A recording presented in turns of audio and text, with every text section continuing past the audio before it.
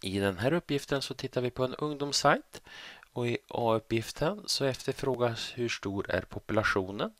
Och populationen det är ju då alla ungdomar som finns i Sverige i den här åldersgruppen. Så svaret här är 800 000 stycken.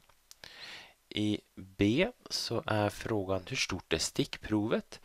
Ja, man hade tillfrågat tusen utvalda besökare på den här sajten så mitt stickprov då är tusen stycken.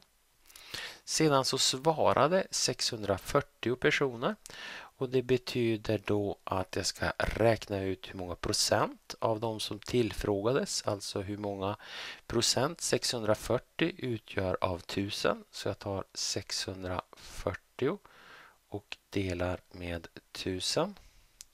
0,64 lika med 64 procent. Sådär. Och sedan har vi D. Varför är det osäkert om resultatet av stickprovsundersökningen gäller för hela populationen? Ja, det är ju då tveksamt om besökarna på den här sajten är representativa för alla ungdomar i den här åldersgruppen. Det är någonting som har gjort att de har gått in på den här sidan så att man har en viss dragningskraft till den här sidan.